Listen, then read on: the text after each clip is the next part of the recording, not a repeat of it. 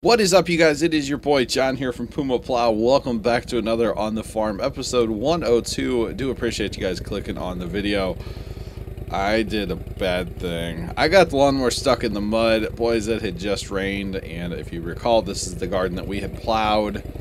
And, uh, yeah, got a little soft and had to go in the shed and say, hey, uh, Dad, I need a tractor, I need a chain, I need you to drive. So, yeah, it's kind of embarrassing, but you know, it, happens. That's probably, and this might sound weird to some of y'all, this that's probably the first time I've ever got stuck in the mud down there.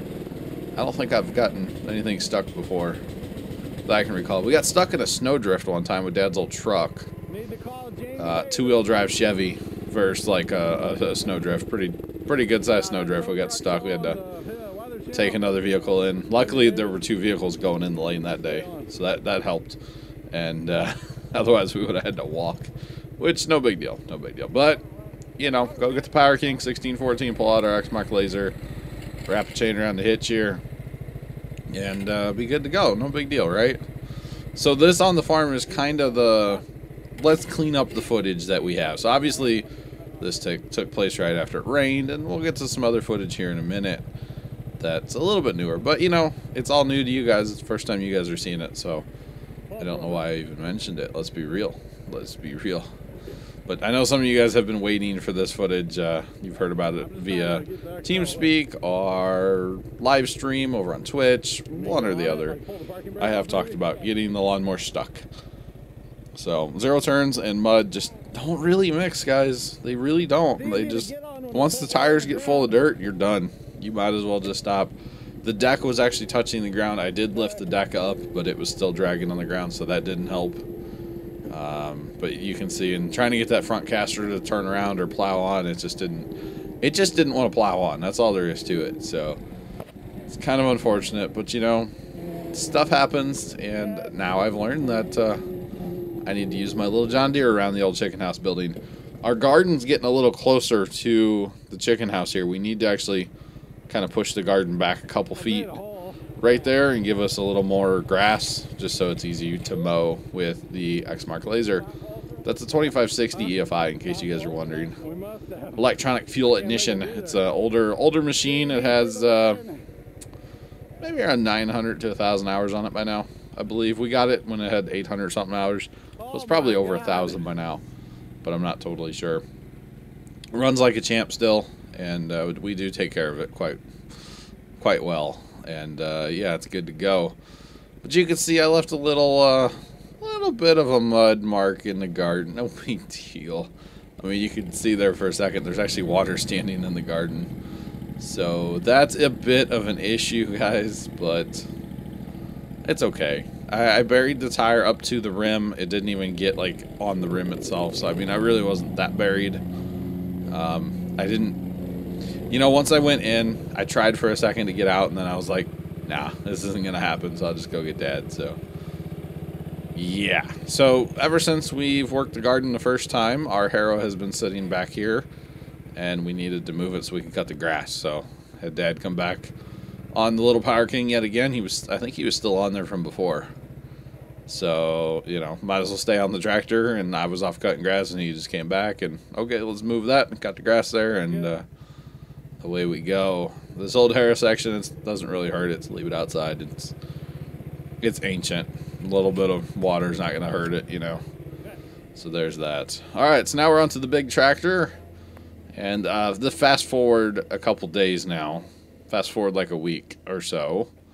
Something like that. I'm not totally sure. And yeah, it's time to work the garden up again. The garden has dried since all that rain.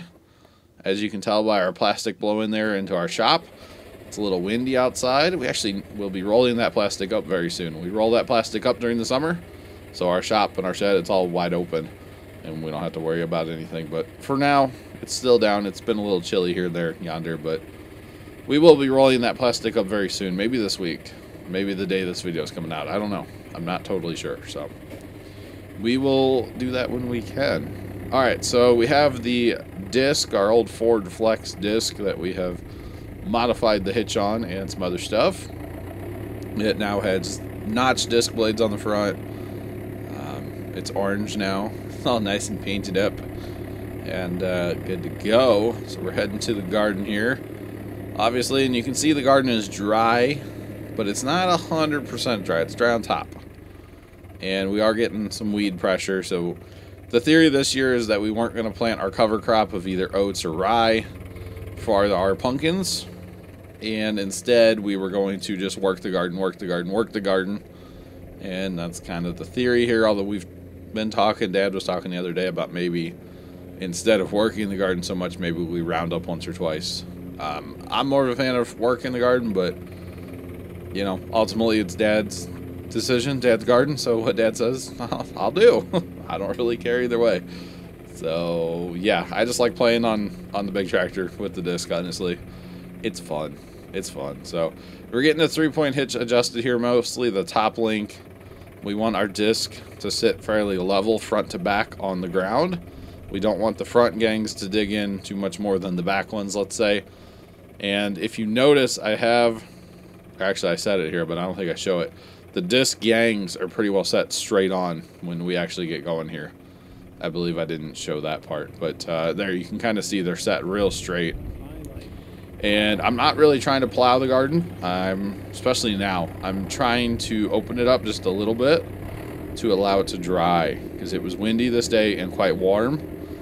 And if you can open the garden up, break the crust, it will dry quite well. Um, so that's exactly what we were going to do here. And if we uh, killed a few weeds along the way, that's cool too. You can see we are getting some weed pressure, like I said. It's not terrible yet, but it will be soon. Uh, since this is filmed, we've had more rain, a lot more rain. Actually, not that much, but we've had more rain, and uh, we've had some temperature days, nice warm days. So it's gonna start greening up very soon, very soon if it's not already. Uh, and you can tell I'm not using GPS obviously or anything. I'm just kind of going wherever. I don't have GPS on this tractor, of course. It'd be cool if I did though. That'd be really cool. But for our little garden that's about an acre, a little over an acre, I think it is total. I I don't need GPS, obviously. It'd be neat though. It'd be cool. It'd be cool. I'd be down with it. But uh, yeah, so we're just working up the garden here, cracking it open, like I said, not going crazy deep. Uh, disc is not set aggressive, just kind of scratching across the surface. That's really what my goal was here.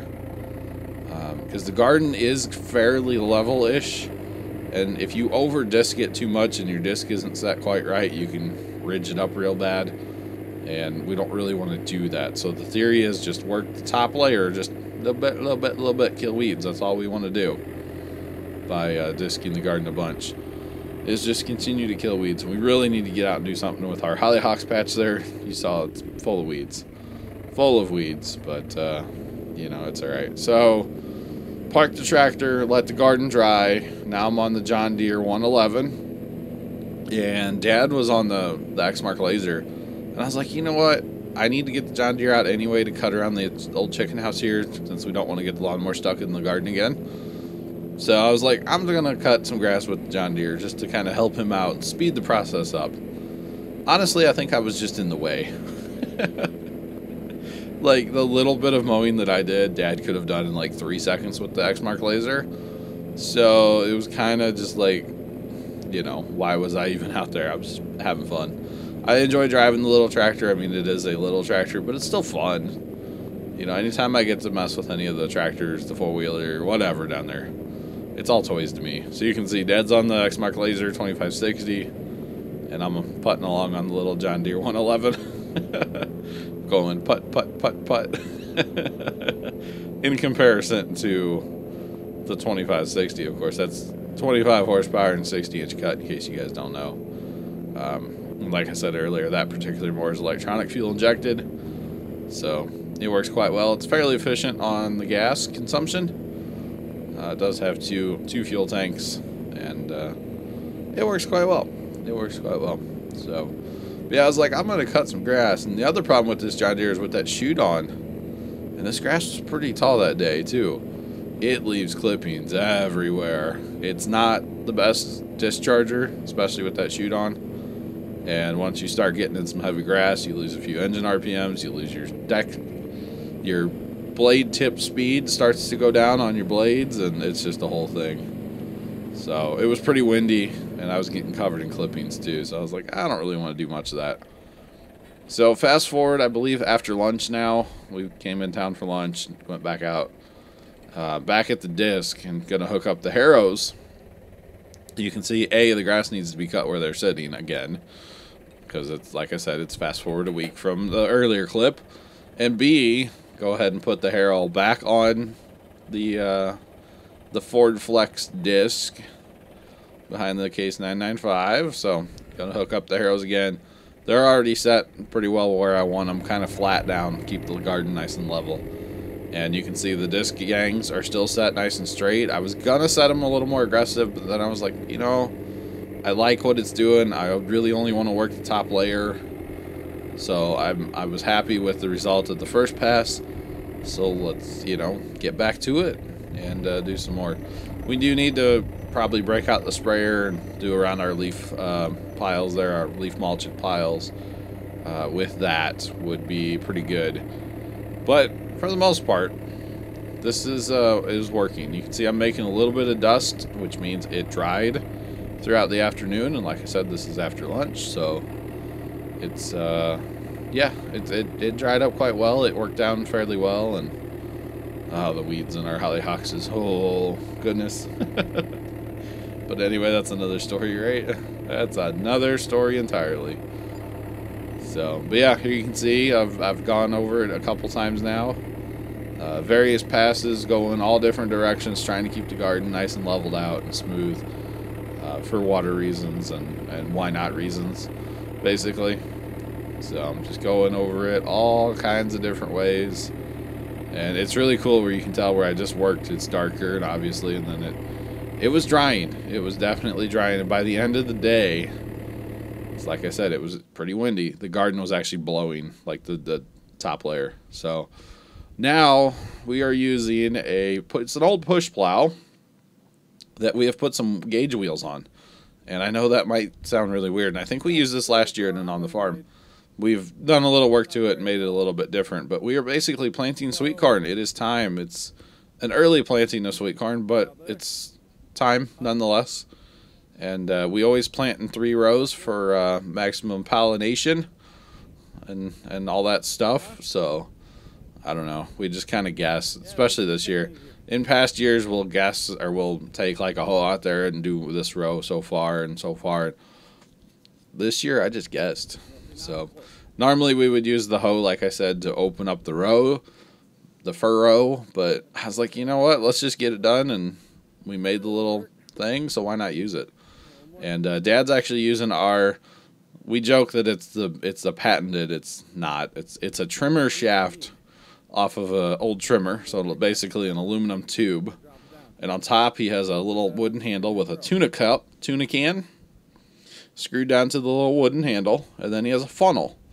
And basically, down there, it's always windy, so you can't just drop your seeds. So by putting them through the little pipe, it, you place the seed exactly where you want it. So you drop one seed at a time, and away you go. He calls it a back and seed saver, is what he calls it, and it works quite well. So I made all the furrows. Dad is putting the corn in the ground, and then I come back with the garden rake and close the furrow up and tamp it down just a little bit. And within, I don't know, 15 minutes, 10 minutes maybe, it wasn't very long we were done planting corn. We are the first planting here.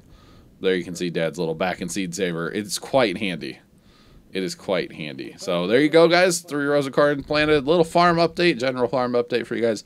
I really do appreciate you watching another on the farm. Make sure you hit that like button for more. Subscribe if you have not already done so. And until next time, toodles.